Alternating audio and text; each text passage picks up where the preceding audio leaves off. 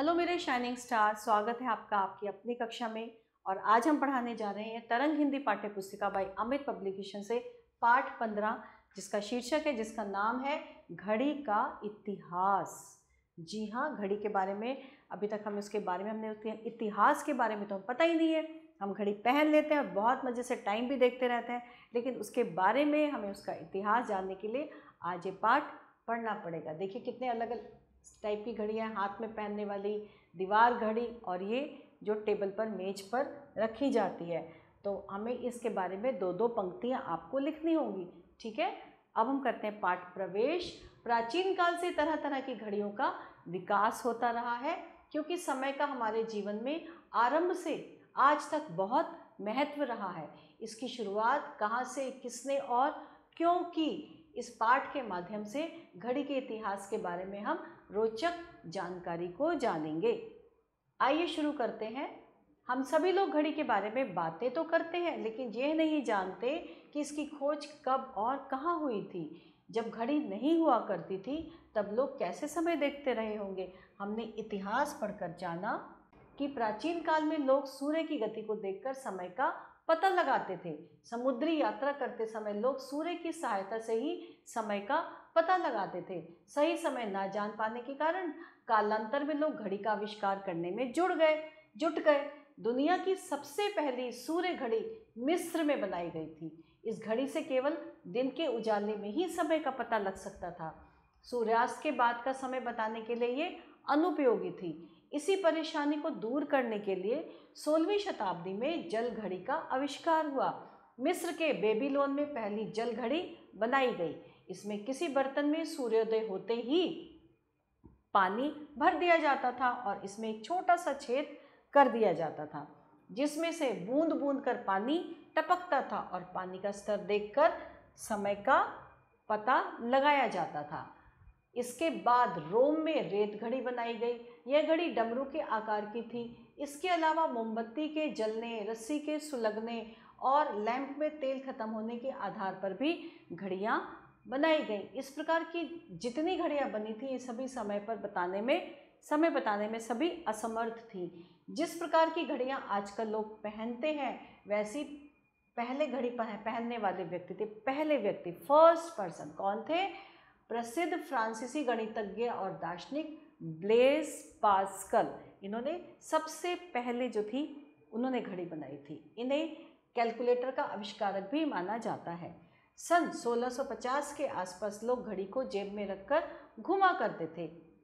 Blaise Pascal ने रस्सी से इस घड़ी को हथेली में बाँध लिया ताकि काम करते समय वह देख सकें। इस कार्य के लिए उनके साथियों ने उनका मज़ाक भी उड़ाया, लेकिन आज हम सब गर्व के साथ कलाई में ही घड़ी पहनते हैं। पहले चाबी भरने वाली घड़ियाँ बनती थी, जिनकी वजह से अब क्वार्टर्स ऑटोमेटिक तथा इलेक्ट्रॉनिक घड़ियों ने ले ली है। क्वार्टर्स एक प्रकार का क्रिस्टल है, जिसमें स्थायी रूप से यांत्रिक गुण उपस्थित रहते हैं। एक विशेष प्रकार की क्वार्टर्स घड़ी सेकंड के लाखवें हिस्से तक को भी सही सही नाप सक, नाप सकती है। आइए जाने घड़ी की विकास यात्रा। 500 से 300 ईसा पूर्व मिस्र में सूर्य घड़ी से समय पता करते थे। फिर 400 ईस्वी से पूर्व यूनान में पत्ती की घड़ी से समय का पता लगाते थे। और फिर 980 ईस्वी में राजा एफ्रेड जलती मोमबत्ती से समय का पता लगाते थे। सोलह में हाइंगस ने पहली पेंडुलम घड़ी बनाई। 1838 में लुइस ऑर्डिमांस ने पेचदार घड़ी बनाई।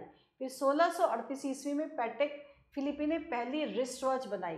फिर 1888 में ईस्वी में कार्टियर ने पहली लेडीज़ घड़ी बनाई। फिर 1902 में पहली ओमेगा रिस्ट वॉच बनी फिर 1914 में एट, एटर्ना ने पहली अलार्म रिस्ट वॉच बनाई फिर 1923 ईस्वी में जॉन हॉटवुड ने पहली ऑटोमेटिक रिस्ट वॉच बनाई फिर 1925 25 ईस्वी में पैटेक फिलिपी ने कैलेंडर युक्त रिस्ट वॉच बनाई फिर 1927 ईस्वी में रोलेक्स वेस्टर्न ने पहली जलरोधी घड़ी का निर्माण किया फिर 1930 में महिलाओं के लिए छोटे आकार की घड़ियाँ बनाई गई।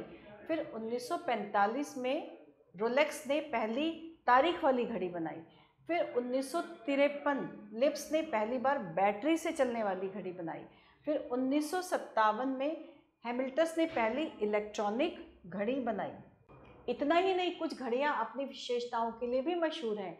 जैसे अमेरिका में बनी एक ऐसी घड़ी जो पाँच बार के नमाज़ के वक्त विशेष प्रकार की ध्वनि निकालती थी।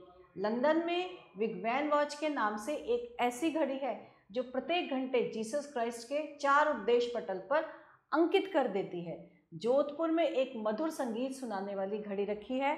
अंतरिक्ष में उपग्रह की स्थापना के समय परमाणु घड़ियाँ ही काम आती हैं, जिन पर तापमान, गुरुत्वाकर्षण और वायुमंडल के दबाव को कोई प्रभाव नहीं पड़ता।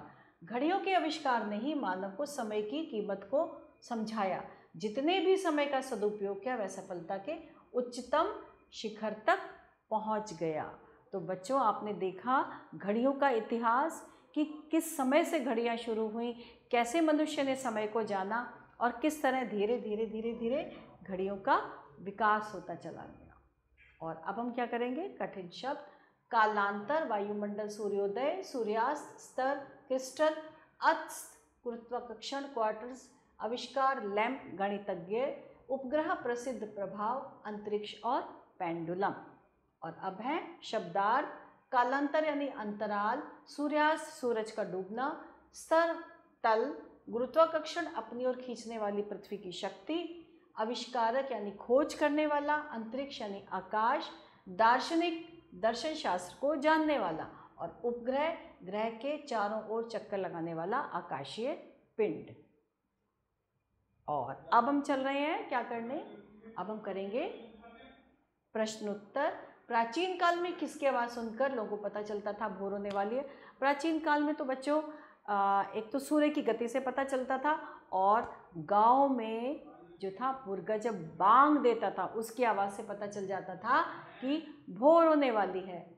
परछाई की लंबाई देखकर किस प्रकार समय का अंदाज़ा और किस काम में लगाया जाता था? परछाई के हिसाब से अगर परछाई लंबी होती थी, जब हम चलते थे लंबी होती थी, इसका मतलब दिन अभी छोटा है। और जैसे जैसे परछाई हमारी छोटी होती जाती थी, जब छोट तो इसका मतलब बारह बज गए हैं, यानी कि दिन जो है अब आगे बढ़ता जा रहा है। तो परछाई से हम इस तरह से समय का अंदाज़ा लगाते थे।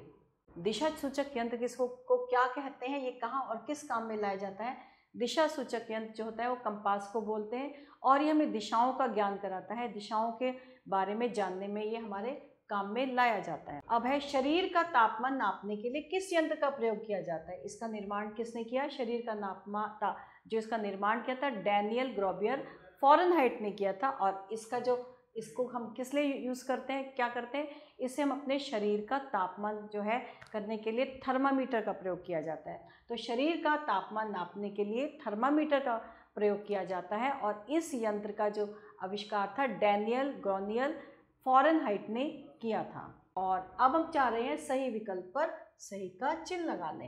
प्राचीन काल में लोग समय का पता कैसे लगाते थे? सूर्य की गति से चंद्रमा को देखकर वायु के द्वारा या वर्षा के सूर्य की गति से आधुनिक घड़ी बनाने वाले पहले व्यक्ति थे Patek Philippe, John Harwood Eterna या ब्लेस पास्कल। आधुनिक घड़ी थे ब्लेस पास्कल। दुनिया की सबसे पहली सूर्य घड़ी कहाँ बनाई गई? भारत, चीन, मिस्र, इंग्लैंड। मिस्र में थी दुनिया की पहली सूर्य घड़ी। पहली जल घड़ी कब बनाई गई थी? बेबीलोन में, फ्रांस में, चीन में या जापान में? पहली जल घड़ी बेबीलोन में बनाई गई थी। पहली पेंडुलम घड़ी कहाँ बनाई गई थी? ब्लेस किसने बनाई थी? ब्लेस पास्कल ने हाइंगस ने एटर्ना ने या जॉन हुड ने? हाइंगस ने। किस सन में ऑटोमेटिक रिस्ट वॉच बनाई थी? 1921, 1924, 1923 या 1932 ऑटोमेटिक रिस्ट वॉच 1923 में बनी। अब हम कर रहे हैं रिक्त स्थानों की पूर्ति। प्राचीन काल में लोग सूर्य की गति को देखकर समय का पता लगाते थे। दुनिया की सबसे पहली घड़ी जो थी, वो बनी थी मिस्र में और सन 1650 के आसपास लोग घड़ी को जेब में रखकर घूमते थे और पहले चाबी चाबी भरने वाली, ठीक है 1650 पहले चाबी भरने वाली घड़ियाँ बनती थी और जोधपुर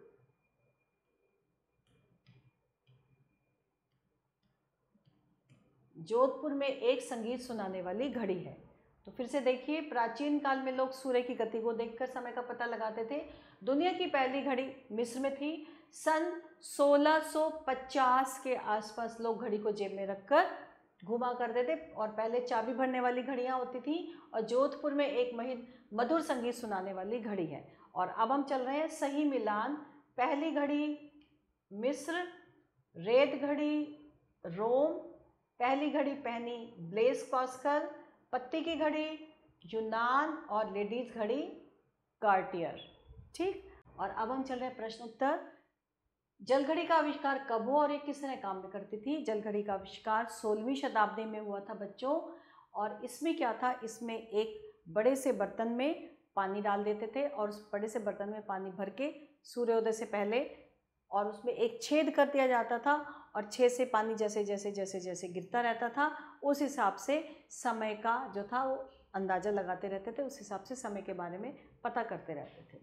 आधुनिक घड़ी को पहनने वाले व्यक्ति, विश्व के पहले व्यक्ति जो थे, ब्लेस पास्कल ही थे, वो थे ब्लेस पास्कल। क्वार्टर्स घड़ी की क्या विशेषता है? क्वार्टर्स घड़ी की ये विशेषता है कि घड़ी के लाखवें हिस्से के सेकंड तक को सही सही नाप सकती है। ये क्वार्टर्स घड़ी की विशेषता है। क्या विशेषता है? कि घड़ी की सेकंड के लाखवें हिस्से तक को भी सही सही नाप सकती परमाणु घड़ियाँ कहाँ काम आती हैं? परमाणु घड़ियाँ अंतरिक्ष में उपग्रह की स्थापना के समय जो होती हैं, ये परमाणु घड़ियाँ काम आती हैं। परमाणु घड़ियाँ कहाँ काम आती हैं? अंतरिक्ष में उपग्रह की स्थापना के समय जो है, परमाणु घड़ियाँ काम आती हैं। वर्तमान में घड़ी के अलावा लोग समय जानने के लिए किसका प्रयोग करने लगे वर्तमान में घड़ी के अलावा लोग बाग समय मोबाइल से भी देखते हैं, उसका जो है प्रयोग करने लगे हैं। इसके अलावा लैपटॉप से भी देख लेते हैं, कंप्यूटर से भी देख लेते हैं, इन सबसे जो है उस समय पता चल जाता है। इलेक्ट्रॉनिक घड़ी किसने और कब बनाई? इलेक्ट्रॉनिक घड़ी हैमिल्टस ने उन्नीस सौ सत्तावन में हैमिल्टस घड़ी का निर्माण किया था। किसने किया था? हैमिल्टस ने उन्नीस सौ सत्तावन में। तो बच्चों, इसके साथ हमारा ये घड़ी का आविष्कार जो है ये वाला पाठ यहीं समाप्त होता है और आशा करते हैं आपको भी इस पाठ के माध्यम से घड़ियों के बारे में बहुत कुछ नई नई जानकारी मिली होगी। तो इसके साथ हमारा पाठ समाप्त होता है। आभार।